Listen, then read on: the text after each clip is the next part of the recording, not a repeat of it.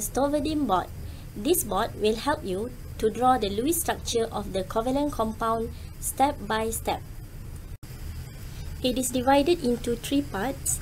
The first part will help you on how to draw the Lewis structure of the compound that only involve the formation of single bonds.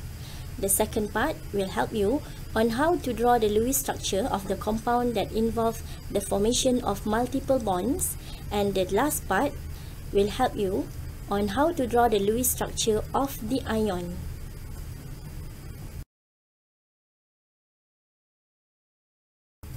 Let's go to the first part, Lewis structure of the covalent compound that involve the formation of single bonds. Acronym STOVADIM is a combination of S stand for skeletal structure, TOVA stand for total of valence electrons, D stand for distribute the valence electrons, and M stand for multiple bonds if necessary.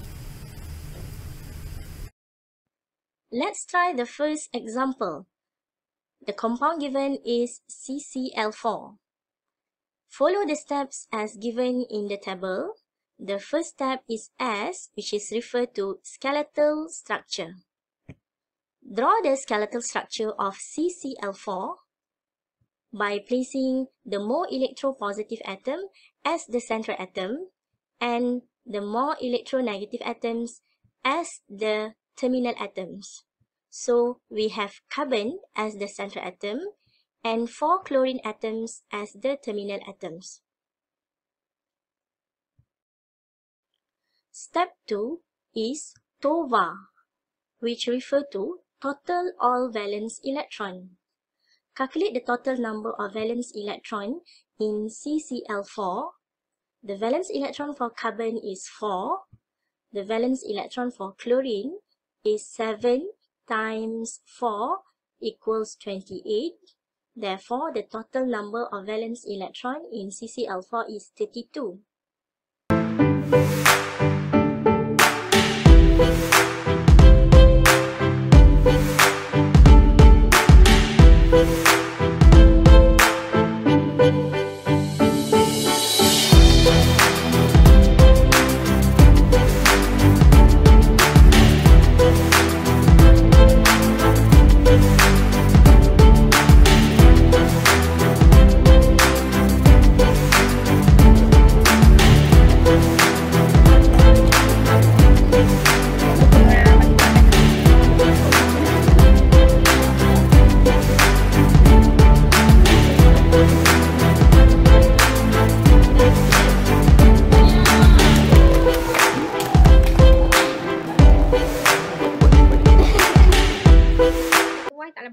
Dan salam sejahtera. Saya Puan Sariah daripada Camp Tinker, Unit Kimia Kolej Matrikulasi Melaka. Kajian kami adalah meningkatkan kemahiran pelajar dalam melukis struktur Lewis menggunakan Stovadin board. Antara penyataan masalah daripada uh, tinjauan literature, daripada temu bual berstruktur bersama pesyarah dan juga pelajar, daripada laporan kerja calon, LKC dan juga analisis kuis mendapati bahawa pelajar memang ada masalah dalam melukis struktur Lewis dalam topik ikatan kimia. Objektif umum kami pertama adalah meningkatkan kemahiran pelajar dalam melukis struktur Lewis dengan betul di mana objektif khususnya adalah pertama pelajar dapat melukis uh, struktur Lewis menggunakan Stoddarding board, yang kedua pelajar dapat melukis struktur Lewis dengan menggunakan Stoddarding board menggunakan uh, sebatian kovalen dengan tepat dan juga pelajar dapat mengikuti turutan langkah dalam melukis struktur Lewis bagi sebatian kovalen dengan betul. Okey, so mod uh, yang kami guna adalah mod tutoran. Kumpulan sasaran adalah kelas saya sendiri iaitu S32T2 dan juga kaedah yang kami gunakan adalah memperkenalkan Stoddarding board. Okey, uh, store board ni sebenarnya merupakan alat bantu mengajar atau belajar yang menggabungkan kaedah pembelajaran secara hands-on iaitu akronim untuk mengingati turutan langkah dan juga model untuk pembelajaran secara hands-on dan dibekalkan juga digital untuk tutorial bagi subtopik struktur Lewis. Okey, di mana store ni sebenarnya S adalah untuk skeletal, TOVA adalah total valence di mana D adalah distribution of electron dan M adalah multiple bonds. Itu adalah akronim yang digunakan untuk pelajar mengerti turutan langkah dalam melukis struktur Lewis. Okey, pelaksanaannya adalah di mana uh, berlakunya ujian pra sebelum uh, diperkenalkan storyboard pada sesi tutorial dan diuji dengan ujian post. Okey, sekarang ni adalah dapatan atau impak kajian perbezaan antara ujian pra dengan ujian post.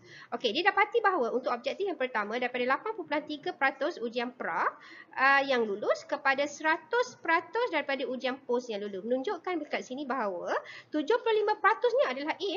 Untuk objektif yang kedua, di mana dalam lukis uh, sebatian covalent, okey, didapati daripada 0% daripada 83% yang lulus kepada uh, 100%, di mana 91.7 adalah uh, mendapat A.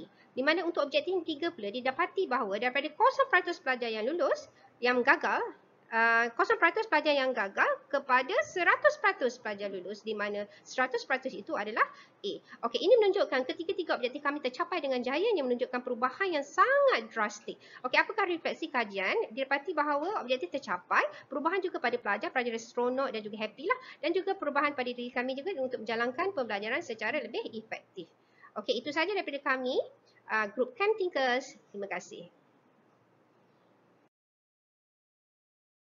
Alat inovasi uh, surrounding melalui struktur ini uh, sangat mudah digunakan dan uh, pelajar mudah faham eh, daripada alat inovasi ini dan di mana alat inovasi ini dapat meng, uh, mengaplikasikan pembelajaran abad 21 uh, uh, WAK eh, dan um, konsep untuk alat inovasi adalah student centered okay, uh, non face to face okay, uh, aplikasikan digital uh, classroom. Alat amat sesuai untuk kegunaan uh, pelajar masa kini yang lebih berorientasikan uh, student center ataupun uh, independent learner. Um, sebab rasanya student sekarang ni dia lebih suka buat sendiri dan dan dan alat ni menepatilah uh, uh, apa uh, aplikasi pengajaran abad ke-21. Um, dan alat ini juga uh, telah mencapai objektifnya saya kira sebab dia memudahkan uh, pemahaman uh, pelajar uh, untuk uh, menghasilkan uh, apa ini uh, formula menghasilkan formula. Dan amatlah di uh, recommend untuk uh, pensyarah-pensyarah juga untuk menggunakan um, kit ini untuk pelajar-pelajar mereka uh, dan saya pastinya dengan penggunaan alat ini pencapaian pelajar dalam pelajaran uh, kimia akan bertambah. Pada pendapat saya, inovasi ini sangat baik kerana inovasi ini mengimplementasikan strategi pembelajaran visual, auditory dan kinestetik di mana di sini terdapat sebuah board ataupun sebuah papan yang boleh digunakan oleh murid-murid untuk melakar ataupun membentuk uh, struktur uh, air uh, dan sebagainya. Di sini juga terdapat sebuah bekas yang mengandungi pelbagai jenis uh, atom-atom dan juga ikatan-ikatan atau bonding. Jadi pada pendapat saya inovasi ini wajar diketengahkan oleh uh, Puan Azurah binti Dapur uh, berserta dengan rakan-rakannya ke peringkat yang lebih jauh. Secara peribadinya saya merasakan inovasi Stobadim ini dapat membantu murid-murid untuk ingatan jangka masa panjang.